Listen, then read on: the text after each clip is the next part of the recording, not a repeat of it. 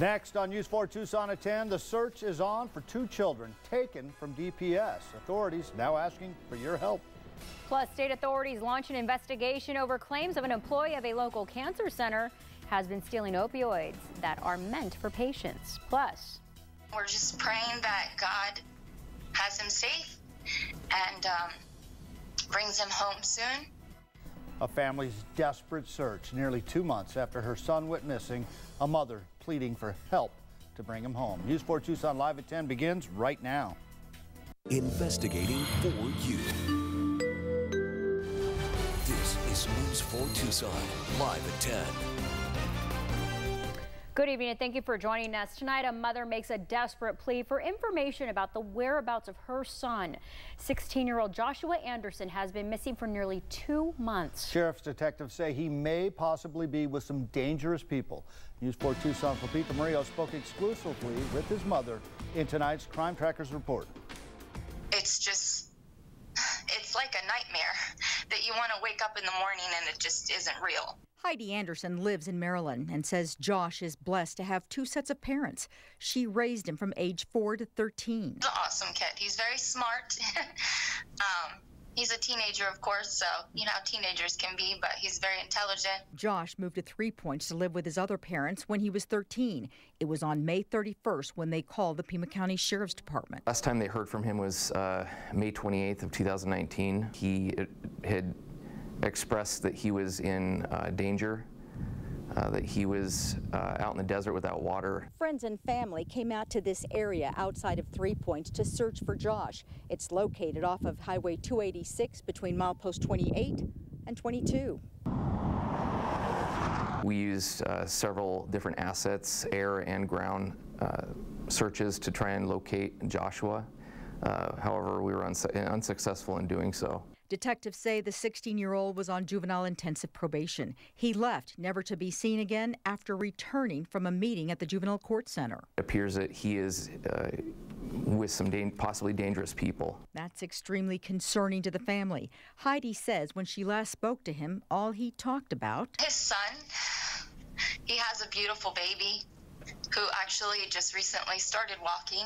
For Heidi, she holds precious memories and pictures of his childhood. He's an amazing baseball player. He's just incredible to watch. He just lights up on that field. Kind of like how his face lights up when he's holding his son. She has a message for Josh and those who may have information about him. Please just let us know that he's okay. Um, Ty, baby, we love you. You have two sets of parents that love you so much, and we miss you. And if you have information on Joshua Anderson, call 911 or 88 Crime if you want to remain anonymous. Lupita Murillo, News for Tucson. Developing out of Florence tonight, an Amber Alert has been issued for two children. The Arizona Department of Public Safety says Two-year-old Blaze Kirkley and five-month-old Ryder Kirkley were taken from DCS custody this morning. Their parents, Melissa Joy Gladden and Jerry J. Kirkley, are suspected of taking them. DPS says the parents are known drug users and have a history of domestic violence. They say the father is also known to carry weapons. Officials believe they are driving a gold 2008 Dodge pickup truck with a Louisiana license plate. The plate number is on your screen right now. Officials say they may be headed to Mississippi or Louisiana. If you see them or have any information, you are asked to call 911. State authorities have launched an investigation over claims that an employee of a local cancer center has been stealing opioids meant for patients. Details tonight in our News 4 Tucson Investigators Report. According to court documents, law enforcement has made contact with four victims of what they are calling a prescription narcotics fraud scheme. The crimes are said to have occurred between March of this year up until last month. Investigators say the suspect was working at Banner Health Cancer Center. As part of the scheme, authorities say the suspect would pose as a pharmacy employee. They would then contact patients and tell them their medication is expired or it's being recalled. Then the suspect would show up to the patient's homes and collect the drugs, including Oxycontin and morphine. Special agents from the State Attorney General's office also served a search warrant at a West Side townhouse. The News 4 Tucson investigators went to the suspect's home, but no one responded. Later, a man claiming to be calling on behalf of his neighbor asked why I left my business card on the door, but he said he didn't know the suspect. At this point, authorities will not say if they've made an arrest in the case, but Banner Health confirms the employee is no longer with the company. In a statement, they told us, quote, we are unable to comment on pending personnel or law enforcement actions. However, we at Banner Health take prescription drug fraud very seriously. We work closely with the Attorney General and Arizona law enforcement agencies and applaud their vigorous efforts to protect our communities.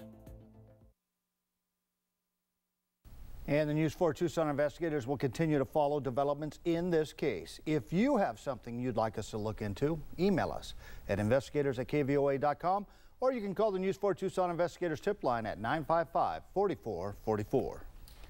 New at 10, John Paul Stevens, who served on the Supreme Court for nearly 35 years, has died at the age of 99.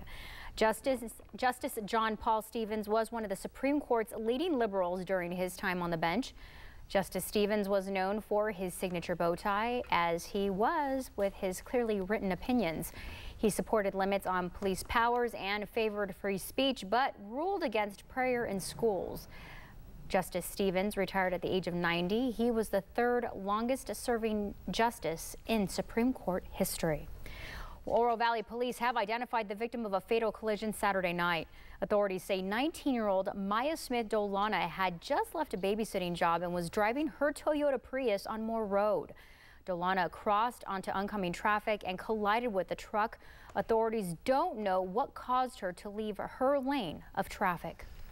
Pima County is planning to spend more than half a million dollars in federal funding to provide humanitarian aid for migrants seeking asylum. A letter from Pima County Administrator Chuck Huckelberry details how that money will be used.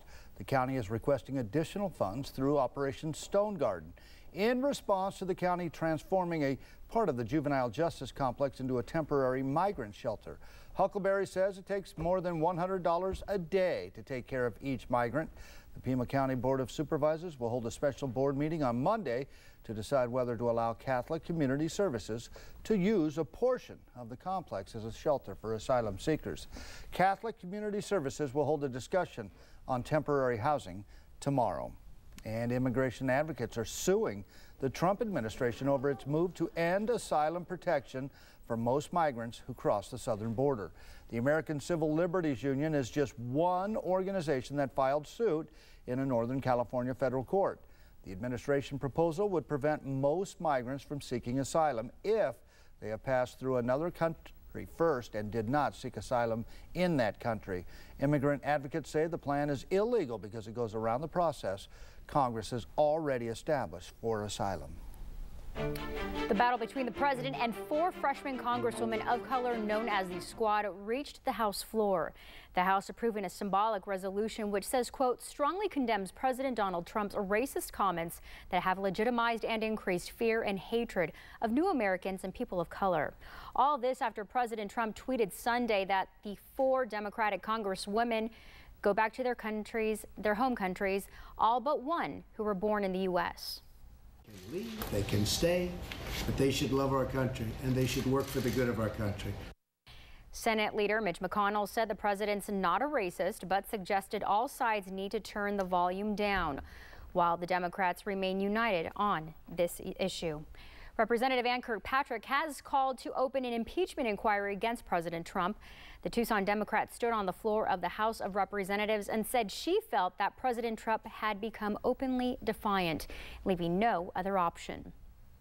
After speaking with legal scholars and experts, reviewing the Mueller report, and after seeing administration officials defy congressional subpoenas, I've come to the conclusion that the House of Representatives must open an impeachment inquiry on President Donald Trump.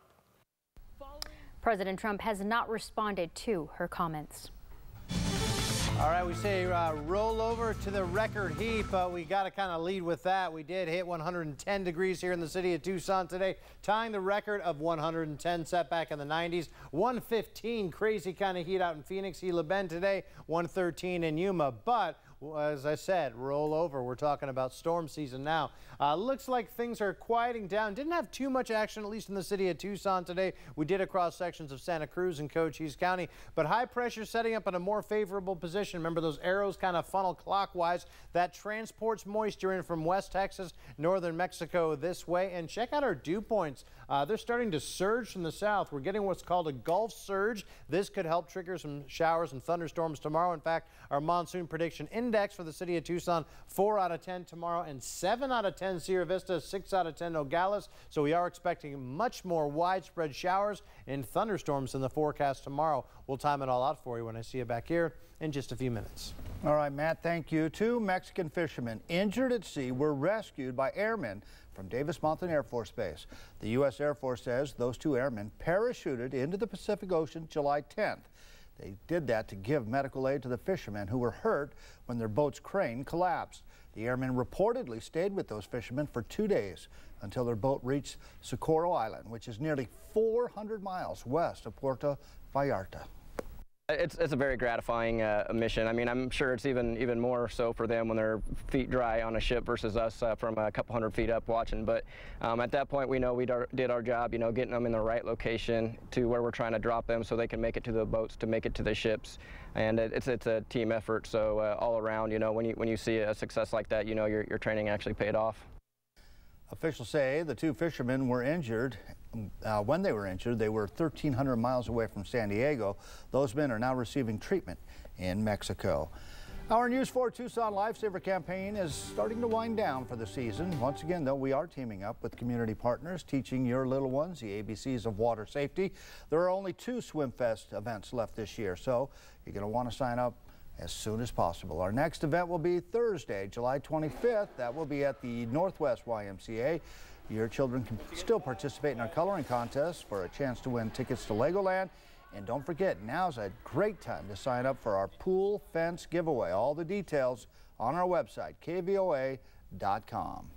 All right, straight ahead on News 4 Tucson at 10, a moment in history. 50 years later, we are still celebrating one major milestone. Plus, what are the valley fever symptoms you really need to look out for? Keep it right here. News 4 Tucson at 10 is coming right back. Investigating for you. This is News 4 Tucson. I was John Overall, Angelique Lizardi, Sports Director Paul Cicala, and Chief Meteorologist Matt Brode. This is News 4 Tucson, live at 10. Listen, uh, Tranquility Base here. The Eagle has landed.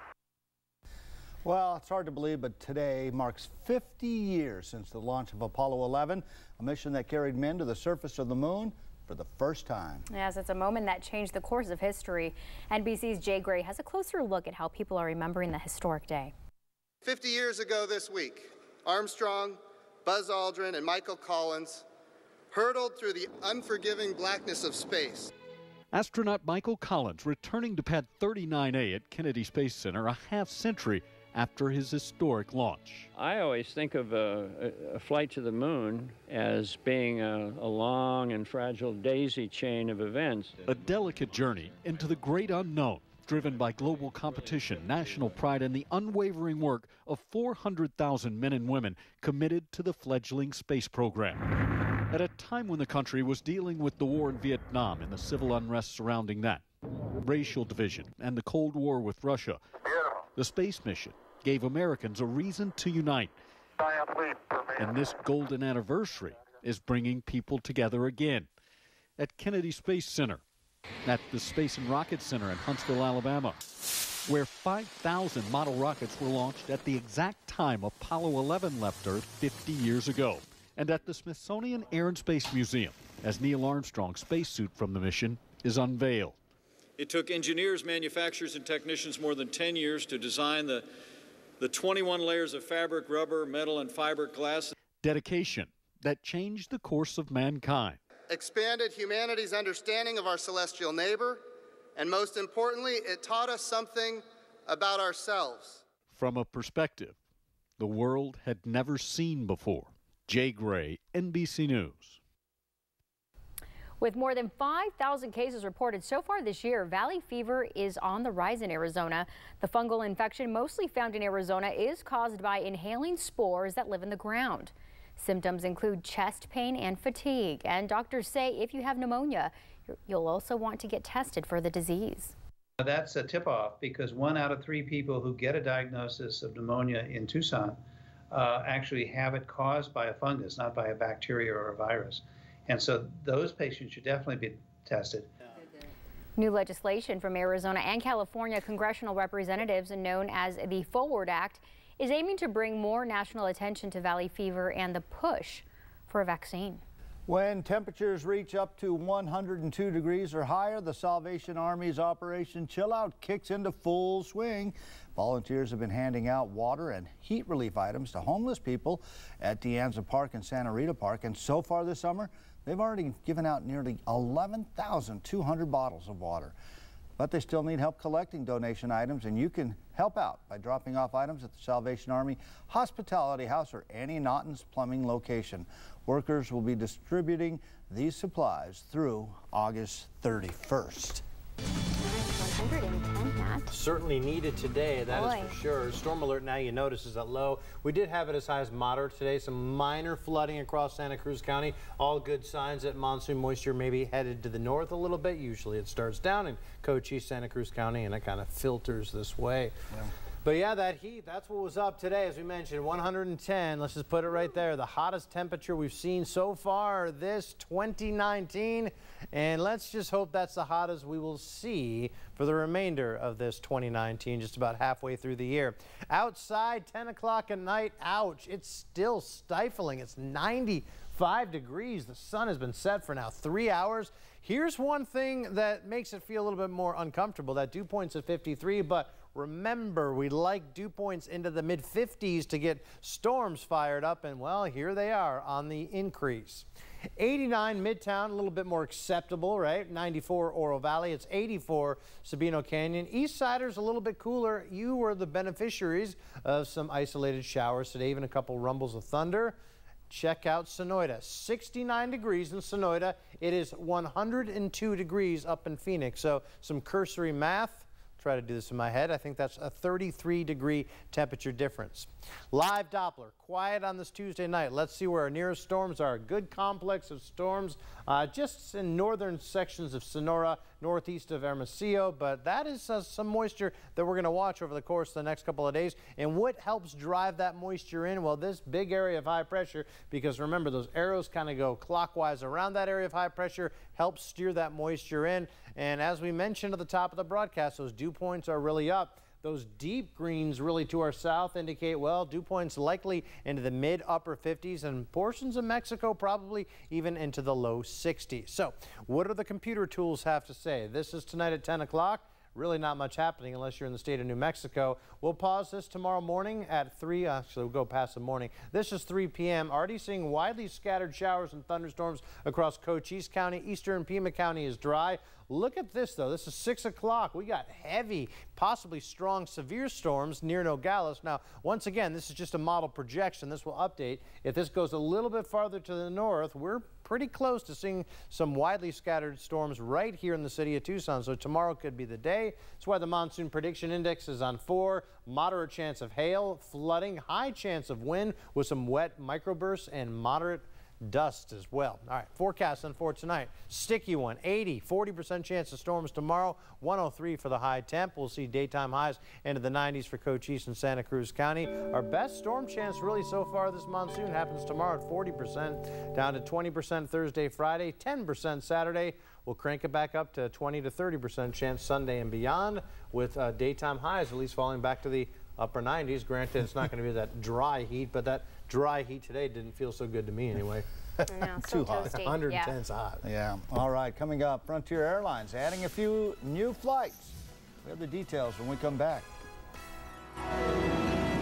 We're gonna do we'll do 15 for three months, right? Tomorrow at 10. News 4 Tucson investigators uncover the evidence you have not seen. A former Wildcat assistant basketball coach is caught on camera accepting a bribe, and we have the video. Just how deep does this scandal surrounding U of A men's basketball program go? Investigating for you. The FBI tapes. Tomorrow at 10. Cummings Plumbing, Heating and Air. If you got a problem, we'll be there. Are your water bills high? Do you have any signs of leakage? Cummings Plumbing Heating and Cooling offers electronic leak detection to avoid costly damage to your home. Call Cummings Plumbing Heating and Cooling today for your free estimate. 293-6900 or visit cummingsplumbing.com. For heating, air, and plumbing, call Cummings.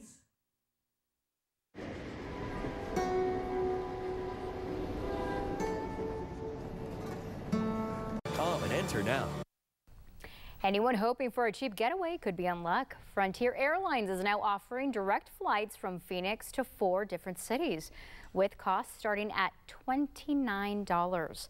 The low fare carrier announced new direct flights to Detroit, Fargo, North Dakota, San Diego, and Salt Lake City. Service to these cities began in November, but now is the time to book. A link to do just that can be found on our website at kvoa.com. All right, it's time for sports with John Overall.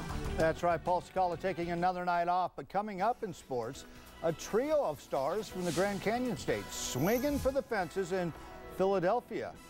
That's not the right video, but we do have the highlights coming up next. The Office is on Cozi TV. Michael! Jim Halpert. Dwight Schrute. Pam! Pam! Pam! Kelly Kapoor. Toby. Angela. Tuna! Creed Bratton. The Office, weeknights on Cozi TV. By age 50, more than half of us will suffer. BloodandCancerSpecialists.com. Are you a master of the monsoon? If you are one of the first to guess how many inches of rain we receive during this time, there will be a big prize in your future from Cummings Plumbing, Heating, and Cooling. Enter now, and you could be named Monsoon Master. Children's Museum Tucson, where imagination and learning connect. You can help a child succeed this school year. Join Assistance League of Tucson and their community partners to get school supplies in the hands of children in need. Assistance League of Tucson will distribute supplies through their children's program. Donate new backpacks and school supplies for ages 5 through 18 at Assistance League of Tucson and both J.C. Penney locations through July 24th. Donated supplies will benefit Assistance League of Tucson and Southern Arizona Children's Advocacy Center. Make a difference. Help a child start the school year with pride and confidence. Tonight, Fallon has Chance the Rapper with a big reveal for his new album. And playing Box of Lies. I tell the truth! Oh my God! Plus David Crosby and Cameron Crowe. And a surprise call with Jennifer Lopez. New Fallon. Arizona well represented in Philadelphia tonight. Three kids from the Grand Canyon State played in tonight's game between the Phillies and the Dodgers. And for the second night in a row, that guy, Scott Kingery, a walk-on at the U of A, opened up scoring with a home run. His 13th home run of the year. Phillies up one zip early. And balls were really flying out of the park tonight. Max Muncy here tying things up for the Dodgers with a monster blast to deep right field. That's his 25th on the year. Scores tied at 1-1. Alex Verdugo from Saguaro High School here in Tucson having a great season for the Dodgers, but his bat was ice cold tonight. He goes 0 for 4. Top of the fourth now. Phillies on top 6-1. The hottest man in baseball is Cody Bellinger. He's from Hamilton High School up in Chandler, and he ripped his league-leading 34th home run of the season. Phillies did hang on to beat the Dodgers tonight, 9-8. On Thursday, Tiger Woods resumes his quest for 18. That's how many major titles Tiger needs to tie Jack Nicklaus, and Tiger's only three shy of that lofty goal right now. For the first time since 1951, the Open Championship will be played at Royal Portrush in Northern Ireland. Tiger and the best golfers in the world looking to claim one of the sport's most iconic prizes, the Claret Jug. Tiger has won this tournament three times, not since 2006, and right now he knows the man to beat is Brooks Koepka, who has won four of the last 10 major championships. I mean, what he's done in the last four major championships and um, has been just just unbelievable. He'd be so consistent, so so solid, so.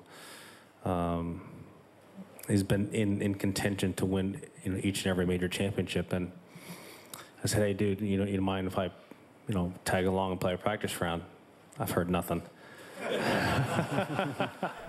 Yeah, Koepka may have been too busy preparing for this tournament to get back to Tiger. Not only has he won four of the last 10 majors, but just last month he was going for his third straight U.S. Open. He ended up finishing second.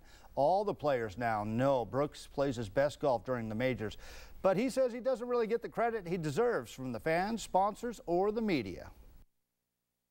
I'm over that. I'm over um, trying to get the recognition. Um, listen, you either like me or you don't. I mean, that's just that's life in general.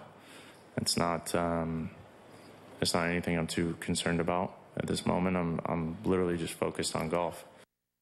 And in football news tonight, Salpointe Catholic High School star safety Lathan Ransom celebrated his birthday today by announcing on Twitter that he's going to play for the Ohio State Buckeyes this fall.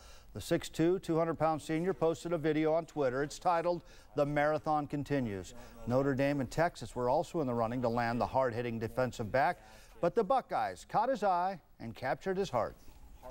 The next level, I want to represent many things. I want to represent my family, friends, coaches, and my city.